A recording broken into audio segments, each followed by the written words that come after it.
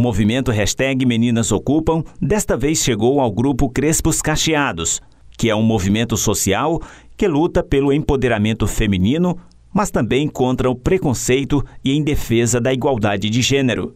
As meninas Ellen Richelli, Elide Ribeiro e Francijane Santana ocuparam os cargos de presidente, vice-presidente e fundadora do grupo, em solenidade realizada no Memorial da Balaiada.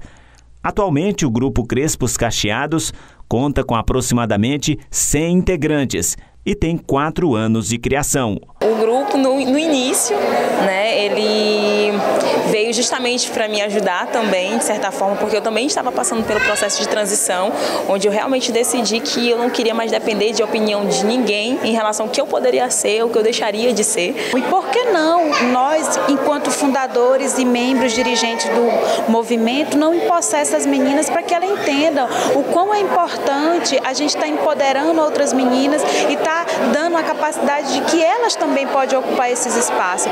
E o, o Crespos, ele tem esse intuito de empoderar não só meninas, mas meninos também, crespos cacheados, de pele negra, de pele mais clara, a gente não tem essa distinção de cor de pele, mas empoderar esses jovens para que eles possam compreender quem eles são, de onde eles vêm e que possam propagar essa informação para outras pessoas também. Para as meninas que ocuparam os cargos, o momento representa um grande passo rumo à garantia de direitos para as meninas, além de contribuir com o protagonismo feminino.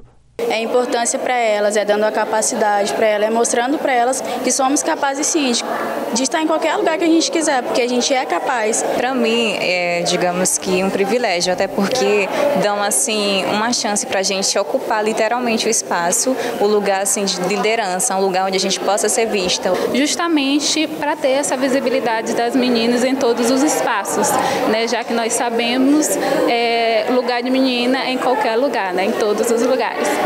O movimento hashtag Meninas Ocupam da Plan International existe em mais de 70 países. Em Caxias é desenvolvido pela Coordenação Municipal de Juventude.